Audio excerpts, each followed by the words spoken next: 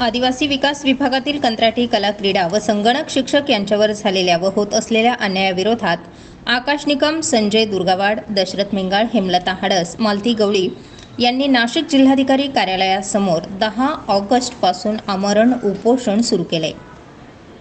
महाराष्ट्र शासनाच्या आदिवासी विकास विभागांतर्गत एकात्मिक आदिवासी विकास प्रकल्पाच्या शासकीय माध्यमिक व उच्च माध्यमिक आश्रमशाळेत कंत्राटी क्रीडा शिक्षक संगणक शिक्षक कला शिक्षक या पदावर सन दोन हजार अठरापासून कार्यरत होते. परंतु दोन हजार तेवीस चोवीस शैक्षणिक वर्षात सदर शिक्षकांना कामावरून कमी करण्यात आले मुंबई उच्च न्यायालय नागपूर खंडपीठ व महाराष्ट्र प्रशासकीय न्यायाधिकरण येथे याचिका दाखल होती. या प्रकरणी न्यायालय महाराष्ट्र प्रशासकीय न्यायाधिकरण यांनी शिक्षकांना दिलासाही दिलेला होता.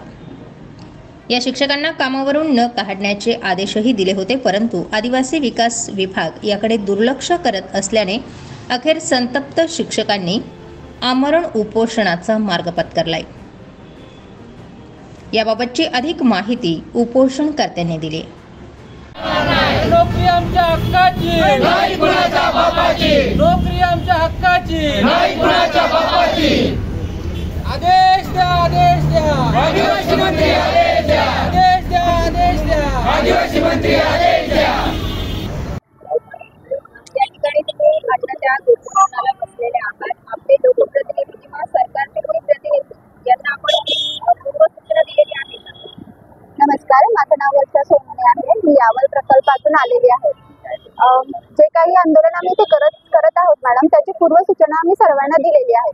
आणि विचार करण्यासारखी गोष्ट आहे मॅडम जर शिक्षकाचा देशाच्या भविष्यासाठी सिंहाचा वाटा असतो. जर त्या शिक्षकांवर ही परिस्थिती असेल तर सामान्य जनतेने काय करावे?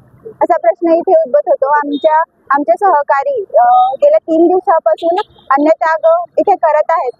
तरीही हवी कशी दखल सरकारकडनं घेतली जात नाहीये. ही खूप म्हणजे दुःखाची बाब आहे. माध्यमातून शिक्षक इथे आलेले आम्ही पूर्ण महाराष्ट्रातून इथे आलो आहोत.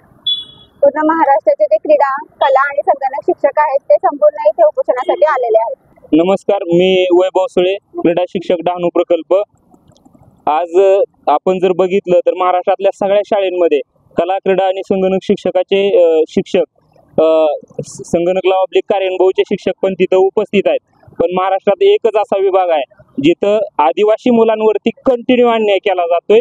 गेले दीड वर्ष झालं हे आठशे शिक्षक घरी आहेत. त्यांच्यावरती उपासमारीची वेळ आली आणि त्याच्यामुळेच आम्ही आज इथं आमरण उपोषणाला बसलोय.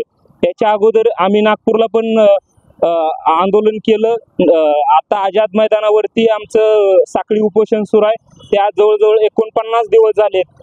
आणि तरी सुद्धा शासन दखल घेत नाही. त्याच्यामुळे आम्हाला अन्नत्याग उपोषण करण्याची वेळ आमच्यावरती आलेली आहे. तसं जर बघितलं तर एकशे पंच्याऐंशी संवर्गामध्ये कुठल्याही अशाच घटकाला बाह्य स्रोतामध्ये टाकलं जातं की ज्यांचा वर्कलोड बसत नाही.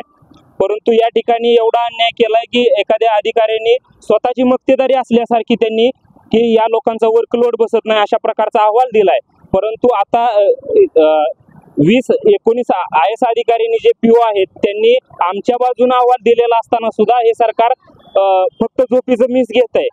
आणि आम्हाला कुठल्याही प्रकारचा आदेश देण्यासाठी ते नाकारतायत.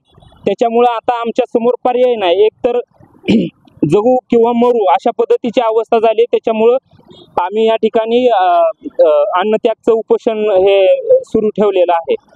तुमच्या माध्यमातून मला सरकारला विनंती आहे की जर आपल्याकडे लाडक्या बहिणीला देण्यासाठी पैसा आहे तर लाडक्या भावावरती आणि लाडक्या बहिणींवरती अशी उपासमारीची वेळ येऊ देऊ नका. आणि आम्हाला तात्काळ आदेश द्या. ज्या आहे त्या पद्धतीनं द्या किंवा कायम स्वरूपाचं आमचं पद निश्चित करा आणि आम्हाला ते तात्काळ आदेश द्या. एवढीच आमची विनंती आहे. नाशिक जिल्हाधिकारी कार्यालय येथे दिनांक दहा ऑगस्टपासून आदिवासी विकास विभागातील कंत्राटी कला क्रीडा व संगणक शिक्षक यांच्यावर झालेल्या व होत असलेल्या अन्यायाविरोधात आमरण उपोषण सुरू केले यावेळी शिक्षकांनी जोरदार घोषणाबाजी केली.